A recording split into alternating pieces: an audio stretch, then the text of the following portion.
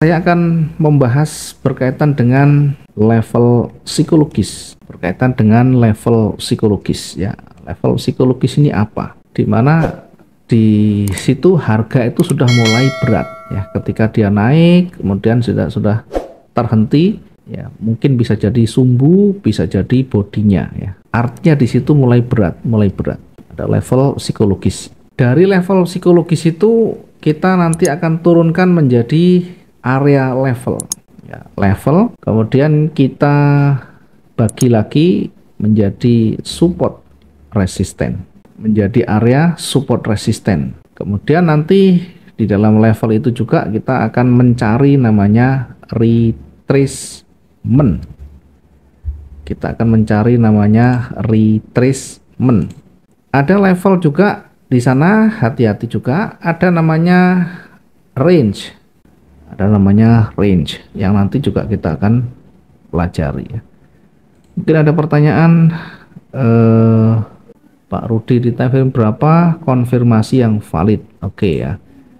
Eh, nanti kita bahas setelah materi ini. Cuma kalau valid dan tidak validnya tentu bergantung pada tipe trading kita. Yang valid itu di time frame tinggi D1, W1. Tetapi tidak bisa untuk trading harian. Maka sesuaikan dengan style kita.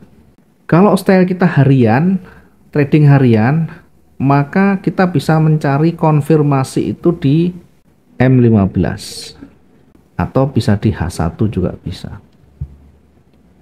Kalau kita menggunakan H1, fokus di H1, M15, H1, M15 dulu. Sampai betul-betul kita menguasai. Setelah kita memahami secara teorinya, prakteknya kita sudah membuktikan, maka bisa ditambahkan nanti dengan time frame di atasnya, H4. Nah, sebelum itu jangan terlalu jauh ya. Yang paling ideal dulu untuk untuk harian itu pakai H1 ya kita bisa nanti mengkonfirmasi di M15 ya nanti kita akan bahas sampai ke sana jadi jangan langsung di M15 kita bisa lihat di pergerakan satu jam dulu. Bisa melihat di pergerakan satu jam. Ya kecuali kita mau scalping ya. Kita mau scalping kita bisa menggunakan M5 atau M15 untuk scalpingan. Jadi scalping itu nanti targetnya lebih kecil. Per transaksi ya bisa lebih kecil. Kalau di H1 ya tentu lebih besar ya. Satu transaksi itu bisa 50 pips hingga 60 pips di sana. Kalau di M15 bagaimana? Ya diturunkan, jangan terlalu tinggi. Ya, kita mengkonfirmasi oke, okay, di M15 itu akan lebih cepat nanti munculnya. Nah, kita kembali ke materi lagi ya, ke level ya, support resisten, retracement dan range ya. Kita baca satu-satu. Support resisten dulu.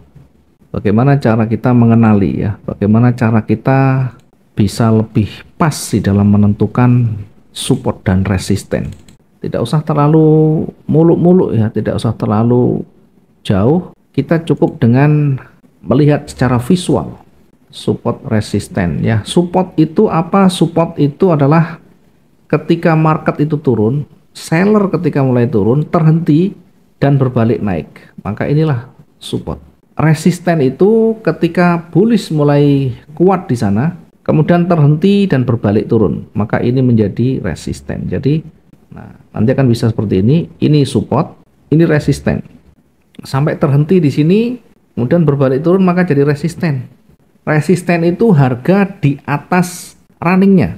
Support itu di bawah runningnya. Di mana di situ ada pantulan, di mana di situ ada level psikologisnya. Level psikologis itu ya eh, sampai di per area ini dia sudah mulai berat, mulai ditolak, mulai berbalik. Jadi perhatikan juga support resisten itu akan berlaku ke depan nanti. Ini diatur, kita tandai, kita tandai. Ketika dia bergerak turun, tidak menyentuh support yang bawah, ternyata dia balik lagi. Maka ini membentuk support yang baru. Yang bawah bagaimana? Tetap support. Tapi ini support yang terdekat. Ketika dia bergerak naik, ternyata menembus resisten di sini break level ya, break resisten. Maka ketika ditembus, resisten ini tidak berfungsi sekarang. Ganti support namanya. Kenapa? Karena harga sudah di atasnya. Tidak mungkin namanya support itu di di di bawah. Jadi support itu sangat tidak mungkin harganya di atasnya ya. Ini kan resisten. Kalau resisten ini naik, kemudian ini berbalik. Jadi resisten di sini kan di sini tidak mungkin lagi resisten di sini karena harga sudah tinggi. Support itu selalu di bawah harga running. Resisten selalu di atas harga running, harga saat ini. Jadi ketika dia naik menembus area resisten, maka area yang awalnya resisten ini menjadi support sekarang. Yang di bawah bagaimana? Ini tetap support. Ini tetap support. Support itu bisa banyak sekali di bawahnya nanti. Selama dia situ ada sentuhan, ada penolakan-penolakan bisa menjadi supportnya. Sehingga pasar itu nanti akan kita uji di area support resisten yang terdekat. Ini biasanya setelah dia break dia akan retest menguji area support di sini. Nah, begini. Biasanya di sekitaran ini dia akan mantul lagi gini. Sehingga kelihatan oh di area support. Berarti di area ini berpeluang memantul. Apakah bisa break? Bisa saja.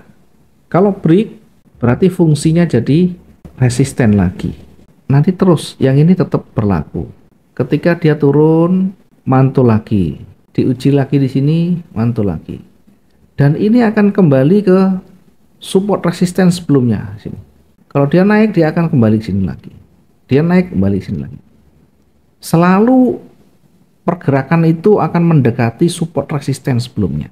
Oke, saya coba tunjukkan ya. Nanti akan kembali ke situ-situ aja. Cuma kadang kita ini melihatnya tidak terlalu jauh ya. Hanya dilihat adalah yang dekat-dekat saja. Oke, kita lihat yang terakhir.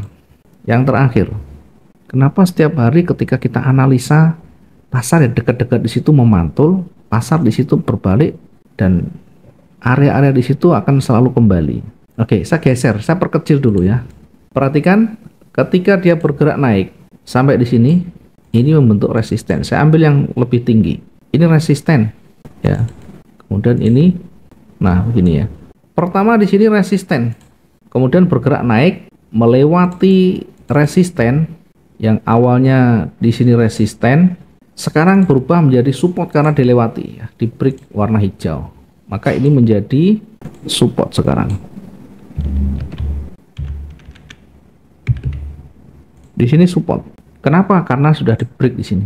Karena break di sini. Sehingga fungsi yang awal itu resisten menjadi support karena harganya sudah tinggi.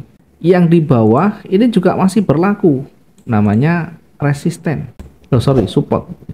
Ini support masih berlaku support. Ya supportnya ada yang dekat ada yang lebih jauh.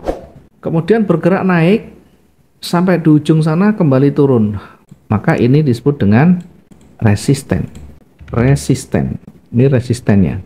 Kemudian ketika dia turun nanti akan mendekati support di sini akan mendekati support lagi sampai di sini kalau dia break maka akan kembali turun kalau tidak akan memantul kembali. Jadi pasar itu akan selalu kembali ke histori sebelumnya atau kembali ke masa lalunya. Dalam hal ini support dan resistennya. Oke, kita tarik lagi ke atas. Tidak sampai menembus resisten kemudian balik turun. Menjadi resisten yang baru. Kalau dia tidak menembus support, maka tetap supportnya berlaku.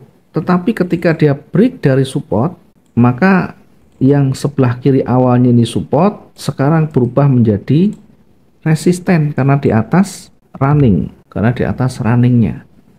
Nanti ketika dia naik dan turun kalau naik akan kita uji di area resisten. Akan kita uji di area resisten kalau di area resisten tidak mampu ditembus maka akan berbalik. Kalau mampu ditembus akan lanjut. Dan terhenti berbalik naik lagi